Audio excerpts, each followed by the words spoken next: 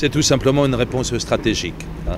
Anguin-les-Bains est, bien sûr une station classée, mais c'est aussi une ville santé.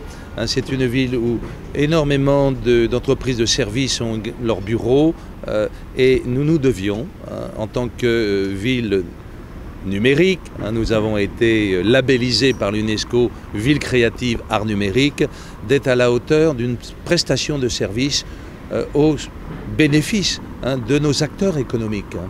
Euh, la fibre, donc c'est un outil, c'est un outil euh, nécessaire hein, dans des domaines où il y a de gros fichiers, où il faut hein, des connexions les plus rapides, les plus instantanées. Nous sommes dans une révolution hein, dans des domaines euh, aussi surprenants pour un patient que la médecine.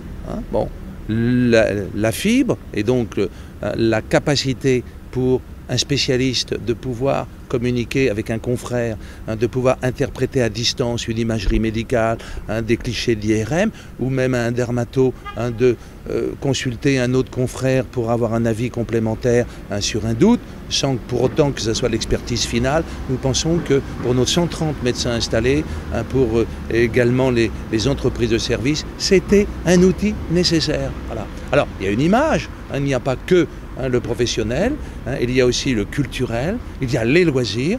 Nous avons des Anguénois qui sont en attente hein, d'avoir de la puissance. On avait jusqu'à ce jour de la DSL convenable, mais euh, certains dans nos quartiers, puisque nous sommes distribués par deux nœuds, étaient en fin de, capacité avec des puissances tout à fait relatives. Aujourd'hui, nous pourrons donc, selon les abonnés, il y a 700 euh, abonnés à ce jour, mais 4000 éligibles et la fibre donc étant maintenant totalement déployée, il faut que les opérateurs, du choix évidemment de chaque utilisateur, hein, fassent leur offre et que nous puissions hein, être au rendez-vous de la modernité.